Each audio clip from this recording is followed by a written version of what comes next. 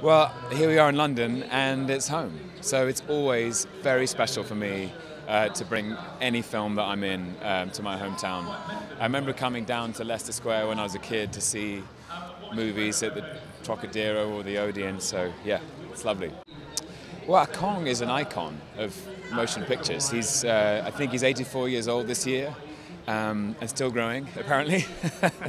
um, and really, it was just a chance to, you know, I feel like I spent my whole childhood running away from Kong in my head, and this was a chance to do it for real life. This film is probably more than any film I've made. It most resembles a roller coaster ride. You sort of, it, it, I've watched it with people and they feel like they're kind of taken on a journey. Um, in a way, it's quite an old-fashioned adventure like that, but with all the new thrills and spills of a contemporary take.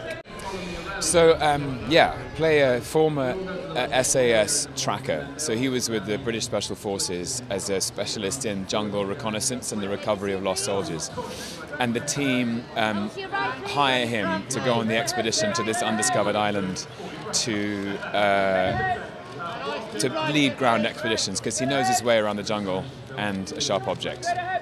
It's just full of action. It's, it's, it's an immersive spectacle um, in a way.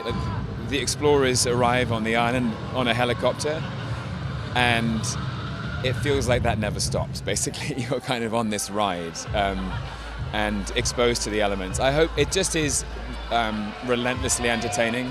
Some great performances from Samuel L. Jackson, John C. Reilly, Brie Larson, and Kong is breathtaking. 100 um, feet tall, and um, quite something. I think it's something to do with.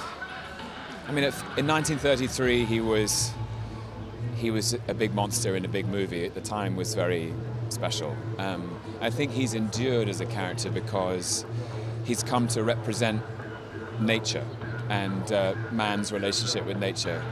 Um, that sometimes. Uh, nature runs on its own steam and it doesn't need us interfering. And people feel for Kong in that way. Like whenever you know, mankind, human beings get in the way, it's like, well, he was minding his own business on his own island. Um, there's something about him we love.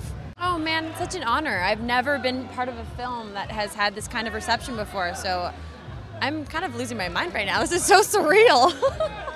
You know, it's it's always the metaphor, the story that's underneath it, and I think now more than ever, having a film that's fun and exciting and that you can watch on a large screen that has a lot of heart in it, but is also about issues regarding who we are as humans, what's worth protecting, and our environment are, are big questions. My character is Mason Weaver. She's a self-proclaimed anti-war photographer.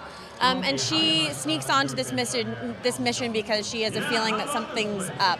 There's something, there's a big story here, but she doesn't know quite what it is. Oh, I, I mean, I think that, you know, Kong is such a large character. I think you can expect really big set pieces. It looks absolutely stunningly beautiful. We shot in Hawaii, Australia, Vietnam, so you're going to see beautiful locations.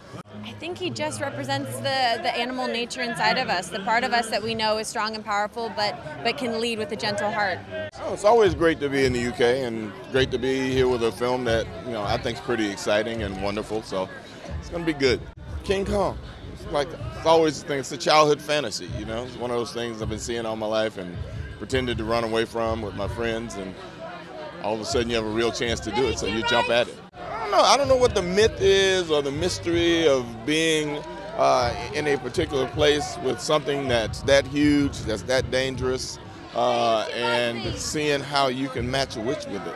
Uh, yeah, he's a commander of a helicopter troop who's uh, asked to take these scientists to this mysterious island for some uh, experiments. And it's supposed to be a babysitting mission, but they get there and it turns into something else. Amazing locations and action.